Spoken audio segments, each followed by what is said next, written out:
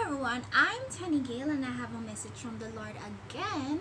And that message is focus. If you focus on the wrong thing, you will lose everything. So, you know, sometimes in life, you think that by doing a whole lot, you can get to a specific end. There's a goal that you're trying to achieve but it's like if you focus on one thing if you just focus on doing one thing in order to get that receive that success to get to that apex point you can lose everything. It's like if you keep focusing if you make one thing your own focus you're trying so hard to get to this point that you just keep working 24 7 and that's just all that you do. I know that. You know the bible says that we should not be sleeping in harvest time. We should be working you know. The bible speaks about being lazy a lot. It says in proverbs that um, if you are lazy it leads to poverty. So it's not like the lord is saying that you should be lazy. No. But he's saying if you focus on one thing you can lose everything you know you're just focusing on let's say you're focusing on getting reaching to a point in a certain point in life and you just neglect everything else so you lose everything in the process. You might get to that point but then it's just like it doesn't mean much to you anymore. So it's like you've lost everything really even when you've gained a thing that you think that you want you really have lost everything. So even when you've attained that thing you've attained that success you still you're still not happy.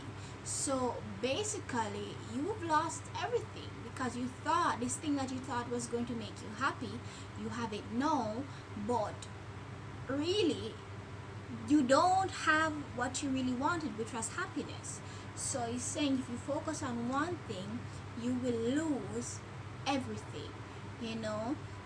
And that's a pretty deep message. I mean, you can get the thing that you want. You can get that house. You can get that person. But if you focus only on the person, you don't focus on fixing yourself. You don't focus on fixing other things in your life you don't make Jesus a part of your life. You don't focus on Jesus. You can lose everything. And it's like, oh, I'm going to work so hard and I'm going to get this thing. And um, that's just my life. And I'm going to be so happy when I get to that point. But you won't be happy because you didn't fix yourself, you know. Things shouldn't make you happy. You should be happy already. And these things should add to your happiness. So it's like if you're you're just like, oh, when I get to that point, I'll be happy. Then you're doing something wrong because you know you should have happiness already. No one should be able to take away your happiness. If your happiness is tied to the things, then if the things are gone, then you'll be very unhappy. So you know, make Jesus the center of your world. He should be the source of your happiness. Everything else should be, you know, like a bonus. Everything else should be added onto you. You know, that's why it says, Seek ye first the kingdom of God, and all these things shall be added onto you.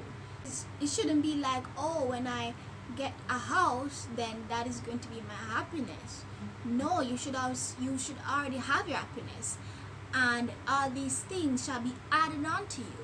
So the extra happiness for the house is added onto you. But even if you didn't have the house, you should be happy already. You understand? So um, see Jesus and make Jesus the center of your world. He is so much more than a deliverer, a healer, a restorer. He is more. He is Jesus. He is Lord. He is the Holy Spirit.